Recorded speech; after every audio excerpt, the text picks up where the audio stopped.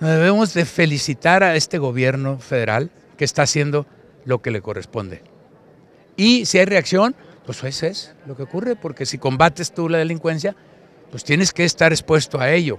Nosotros no tenemos desorden, lo que ocurre es que hay reacción de la delincuencia ante acciones del gobierno.